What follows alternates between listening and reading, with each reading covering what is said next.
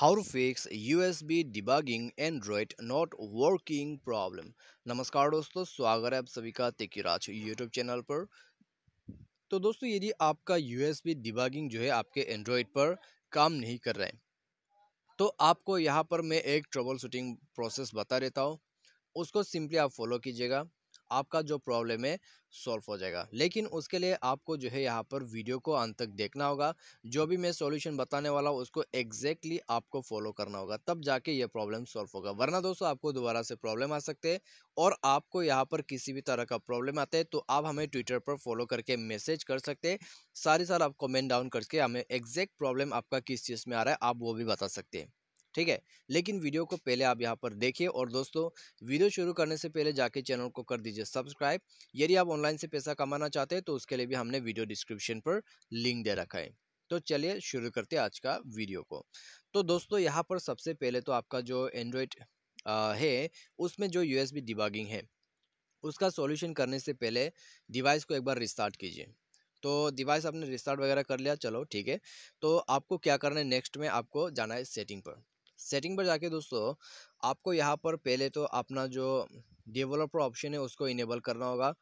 तो यहाँ पर इनेबल नहीं है तो एक बार अबाउट फ़ोन पर जाके डेवलपर ऑप्शन इनेबल करने के लिए एम आई वर्जन पर सात बार क्लिक करें, आपको मिल जाएगा।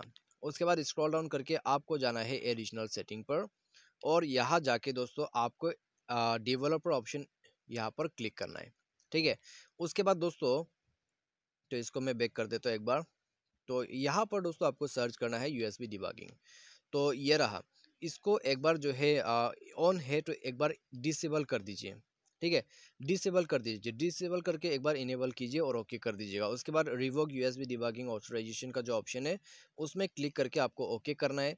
सारे साथ इंस्टॉल विया यूएसबी जो आपको यहाँ पर देख रहा है allow installing apps via U S, via U S B, ठीक है? तो इसको नहीं चाहिए। उसके बाद U S B debugging security settings तो इसको आप ऑफ़ कर दीजिएगा, ठीक है? आप देख सकते हैं सिक्योरिटी सेटिंग्स इसको आप ऑफ़ कर दीजिए। उसके बाद दोस्तों देखिए आपका जो यहाँ पर यू एस बी डिबागिंग है, वो काम करना चालू हो जाएगा। ठीक है, बस आपको एक बार दोबारा से यू एस बी डिबागिंग को यहाँ पर ऑन करना है। और दोस्तों उसके बाद प्रॉब्लम सॉल्व हो जाएगा। यदि प्रॉब्लम सॉल्व नहीं होता है सिंपली इस सॉल्यूशन को फॉलो करने के बाद इसको ऑफ़ कर दीजिए। और आपका जो यहाँ पर डेवलपर ऑप्शन है, उसको भी बंद कर दीजिए। तो उसको बंद करने से दोस्तों क्या होगा, आपका डेवलपर ऑप्शन यहाँ से चला जाएगा। ठीक है, आप यहाँ पर देख लीजिएगा। थोड़ा सा वेट करना होगा आपको। तो डेवलपर ऑप्शन को यहाँ पर आप डिसेबल कीजिए, उसके बाद दोस्तों बेक करके आप जाइएगा आपके एंड्रॉयड फ़ोन पे आई मीन अबाउट फ़ोन पे। अबाउट फ़ोन पर जाके दोस्तों क्लिक कीजिए एम वर्जन पर। तो यहाँ पर क्लिक करने के बाद दोस्तों four step away two step away और one step away you are now a developer तो अभी दोस्तों यहाँ पर डेवलपर ऑप्शन क्रिएट हो चुका है। स्क्रॉल डाउन करके दोबारा से आप जाए एडिशनल सेटिंग पर क्लिक करें, उसके बाद क्लिक करें आपके डेवलपर ऑप्शन पर। तो उसमें क्लिक करने के बाद दोस्तों आपको क्या करना है वो तो आपको पता है, जाके यूएसबी डिबागिंग को दोबारा से आपको अलाउ करना होगा। लेकिन उससे पहले दोस्तों मेरा काम यहाँ पर एक बार कर लेता हूँ। जो कि है यहाँ पर शो टचेस ठीक है शो टैप्स तो यहाँ पर हो चुका है।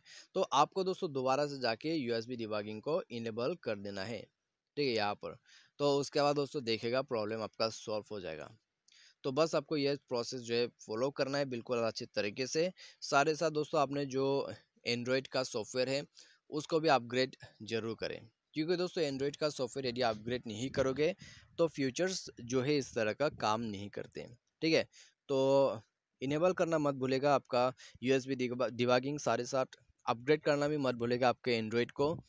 तो ये सब सॉल्यूशन करने के बाद प्रॉब्लम सॉल्व हो जाएगा। तो आज के इस वीडियो पर दोस्तों बस इतना ही। Thanks for watching